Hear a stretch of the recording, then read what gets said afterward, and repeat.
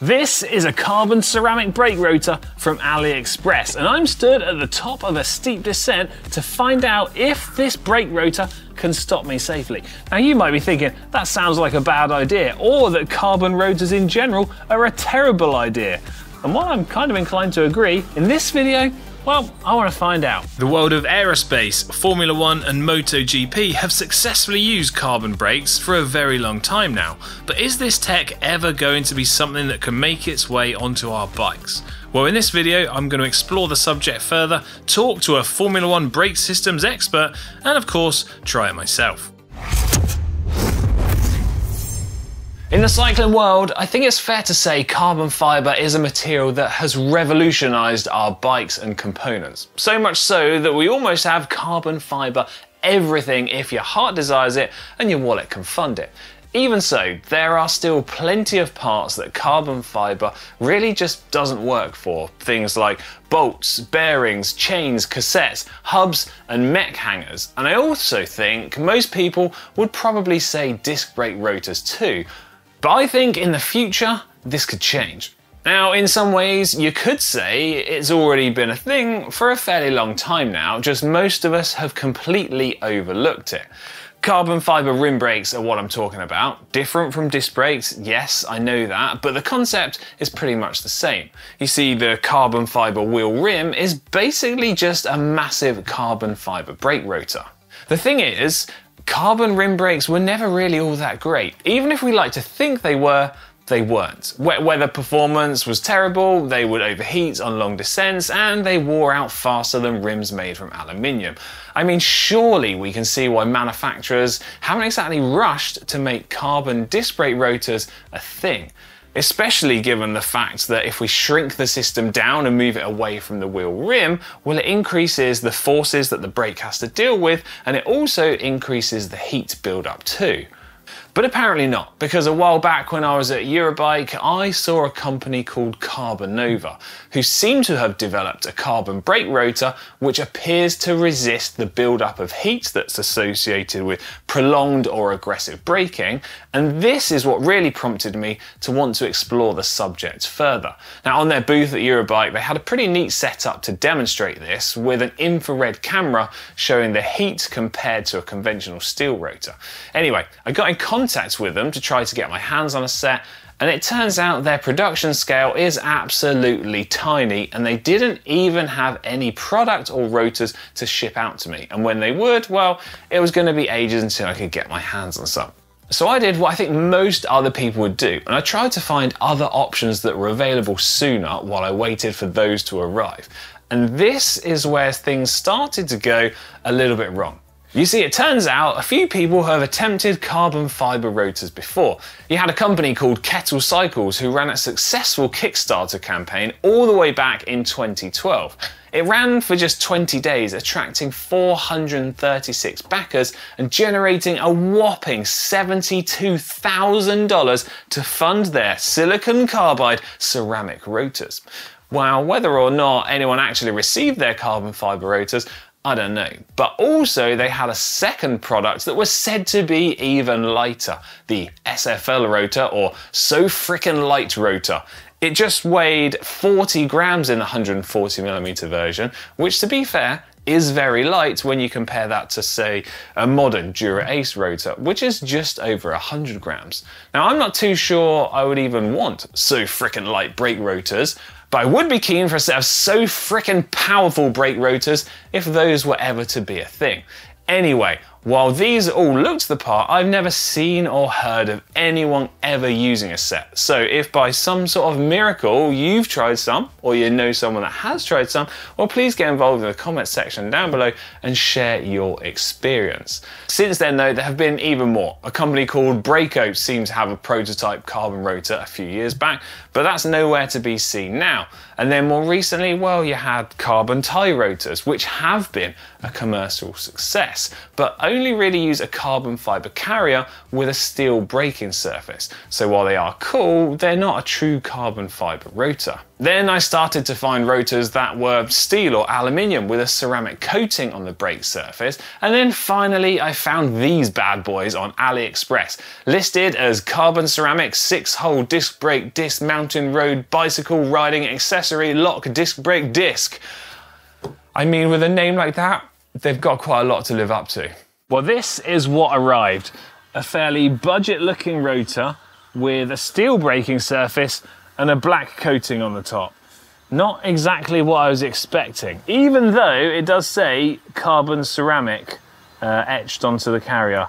Um, Nonetheless, my hopes are pretty low for something actually good turning up, but I figured it was worth a try. Now, before I try and ride down this steep descent, firstly, I need to answer a couple of important questions. What actually are carbon brakes, and what are their relative advantages and disadvantages? To help me answer that question, I spoke to Formula One brake expert Alex Robinson, who works for the McLaren racing team. Carbon brakes are a different way of doing a braking system compared to a normal road or bike a road car or bike. So conventional cars and bikes with disc brakes use a steel disc and a pad made from some kind of organic or sintered material uh, in a resin, which is bonded onto a metal backing plate. So those those are the kind of things you would see in a normal road car and also in a normal car with disc brakes. Um, they're pretty cheap. They're pretty reliable. They work well when they're cold, uh, and they have good wear, wear resistance. But uh, they're very heavy, and they don't have very good performance at high temperatures. So in Formula One, um, we do completely the opposite, and we use carbon fiber for both the discs and the pads, um, which are much lighter. They work very, very well at high temperatures, um, but they are quite a bit more expensive, and they do require some warm up to get them in the right temperature zone. How long have carbon brakes been used in Formula One, and what was the first sort of catalyst to move to that system? So we've had for, uh, carbon brakes in Formula One for over 20 years now, um, and they actually originally came from aircraft technology. And in fact, the uh, the Formula One brakes were taken out of the middle of uh, a big uh, aircraft brake disc. So that's where it started a long time ago.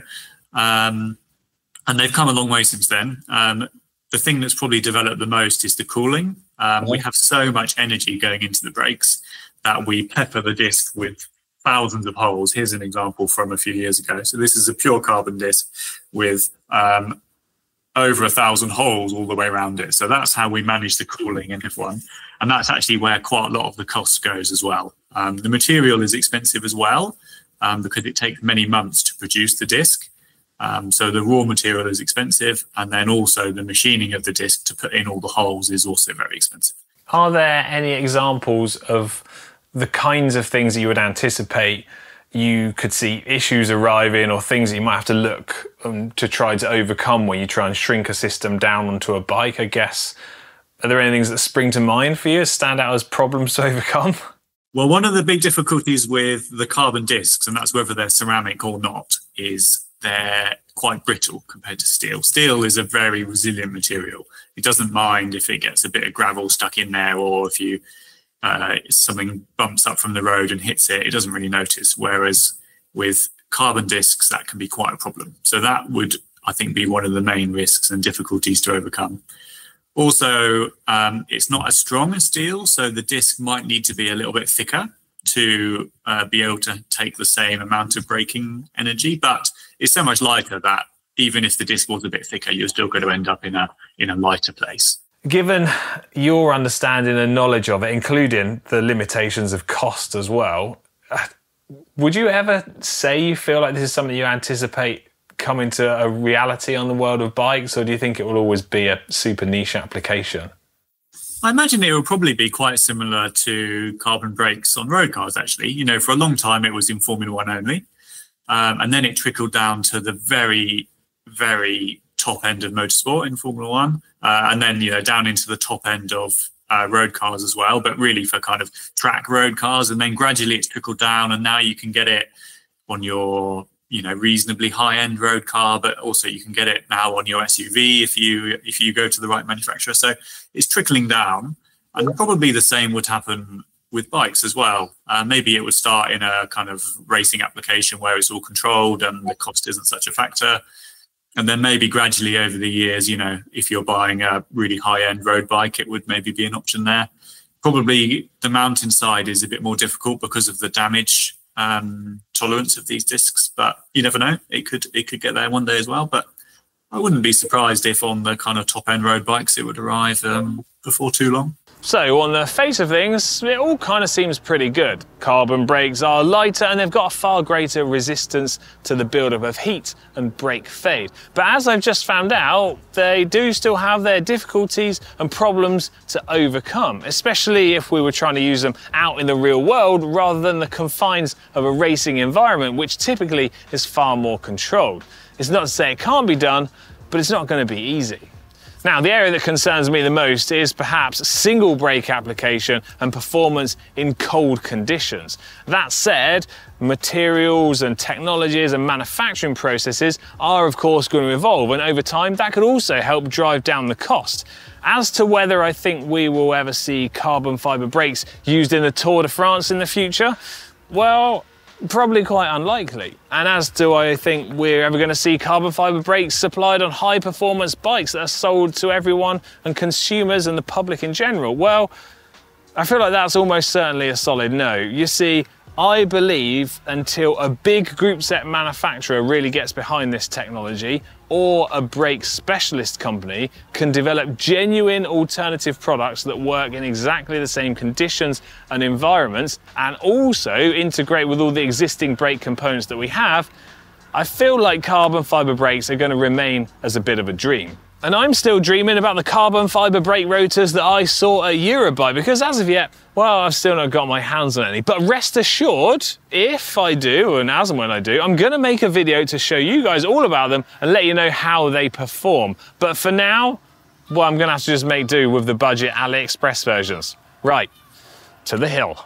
Okay, I've put off doing this for long enough, and for reference, this is what the rotor looks like with no braking having been done on it. So, um, see what it looks like after one descent.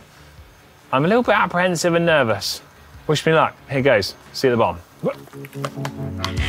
Oh, can't clip in. It's like a Matt Stephens moment. I've got stop. Ah! Well, it's noisy.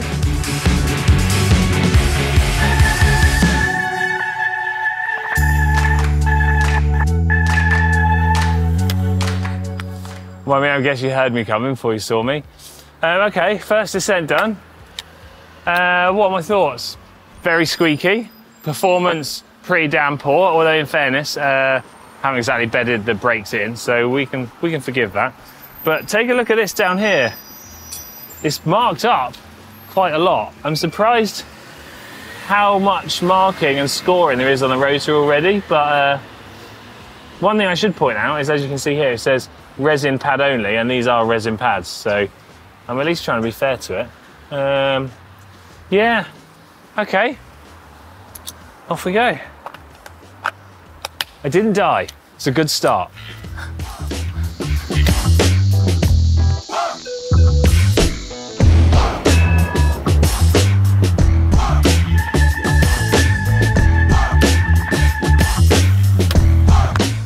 Well, I at least had faith I wasn't going to run you over. Um, well, it's getting a little bit quieter. The brake performance is not really changing, if I'm honest. And the brake coating is still, well, you can start to see some real shiny bits here. And I think this is probably where the coating is starting to wear off, which is slightly disappointing, seeing as this was like a hundred pounds. I'm already starting to feel like I've been slightly robbed. Um, only one way to find out. God, I can't even say this. Back to the top.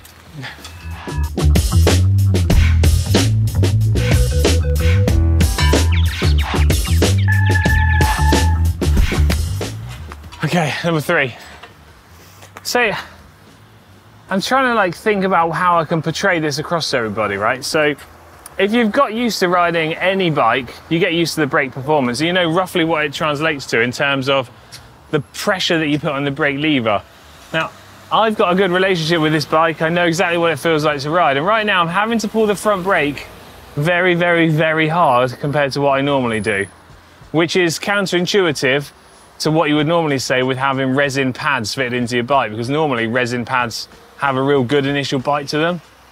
But so far, I'm saying it's not the case. And look at this. You can really see a lot of shiny silver, which is very disappointing. Uh, I'm not really sure what I was ever expecting buying a set of rotors off of AliExpress, but um, I'm going to say AliExpress knockoff budget carbon ceramic rotors.